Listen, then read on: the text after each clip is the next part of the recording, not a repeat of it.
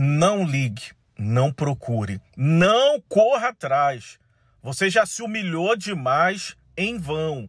Não trouxe resultado para o seu relacionamento, a sua vida sentimental e amorosa por um fio, desequilibrada. Eu vou te entregar tudo.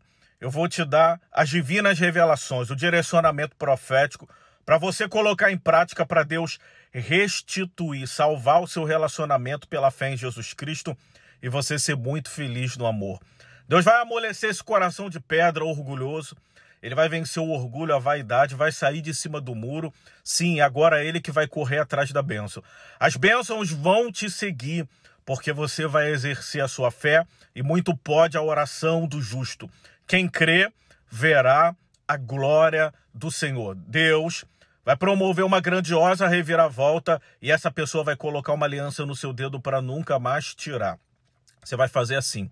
Você vai fazer um jejum de três dias pelo seu relacionamento, orando Pai Nosso, Salmo 91, vai colocar tudo diante de Deus. O que está acontecendo, sim, ciúmes, crise, desconfiança, briga, separação. Sabe a Penina, a Jezabel, gente que está se infiltrando no seu relacionamento para Deus desfazer toda calúnia, inveja, invenção e você ser muito feliz no amor.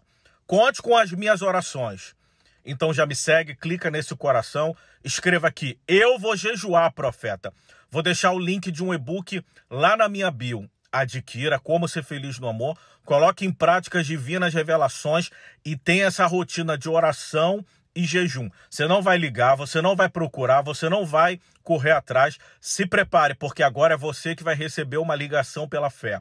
Pedido de perdão, juras de amor, reconciliação. Alguém vai voltar para a sua vida mudado, transformado, liberto, uma nova pessoa. Você vai ser respeitada, mimada. Sim, essa pessoa vai te ouvir, compreender, Prepara as malas e também o coração para desfrutar essa nova fase de prestígio, carinho, amor, sinceridade, lealdade, fidelidade. Você crê? Você vai compartilhar esse vídeo com a pessoa amada. Salva porque você vai voltar aqui para testemunhar. Me segue, clica nesse coração.